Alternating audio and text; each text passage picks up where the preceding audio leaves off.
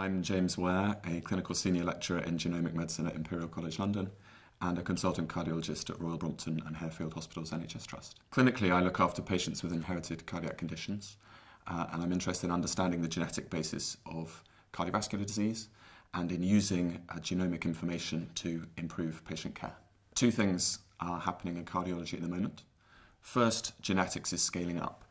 The arrival of uh, genomic technologies has reduced the cost of genetics and it's increased its impact on care so that it's being much more widely used. Genomic data is also now increasingly available in the clinic to influence prescribing and risk stratification of patients.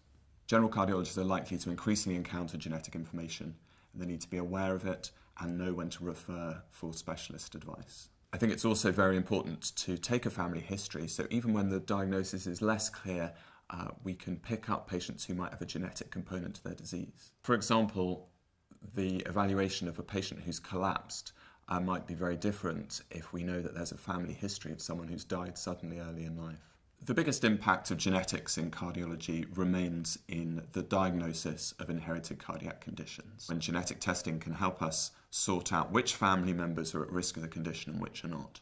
Inherited cardiac conditions are usually autosomal dominant, uh, which means that immediate family members have a 50% risk of inheriting the same condition. So although in the clinic we just have one patient in front of us, we have to bear in mind they may have children, siblings and parents who we also have to consider. If we assess uh, relatives when they're still young, uh, it's very difficult to confidently say that they don't have the condition themselves because a one-off normal scan or ECG doesn't exclude the possibility they're going to develop the disease later.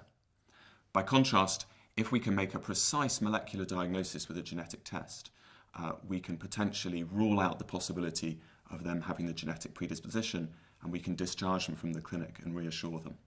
Understanding the precise molecular basis of a disease uh, through genetic testing, for example, can also help us to refine our treatment. If we consider unexplained left ventricular hypertrophy, presumed to be uh, typical hypertrophic cardiomyopathy, actually about 1 in 50 patients will have Fabry disease, which has a very specific therapy through enzyme replacement. There's also an opportunity to use genomics to choose the best therapy for our patients, predicting their response to different drugs on the basis of their genetics. One cardiological example uh, is the drug clopidogrel, which is a prodrug, and some individuals lack the necessary enzyme to convert it to its active form. These people will be resistant to the medication, but they can be identified in advance using genetics and offered an alternative. Understanding the genetic basis of disease can give, an, give, us an insight into the molecular mechanisms and pathways involved, which can allow us to develop new treatment strategies. Inherited conditions can also serve as genetic models for more common forms of disease. So, as we understand the genetic basis of these conditions, uh, that will unlock new treatments and particularly targeted and more effective treatments. New genome technologies are also offering the promise of new therapies through gene repair or replacement. Advances in genetics and genomics have an opportunity to benefit a large number of patients with both inherited conditions and with common cardiovascular diseases. Some of the benefits for the patient in front of us might not be realised for another few years, uh, but the benefits for their family really are immediate and very substantial. Genetics is no longer just an ivory tower's academic interest, but it really has application for our patients.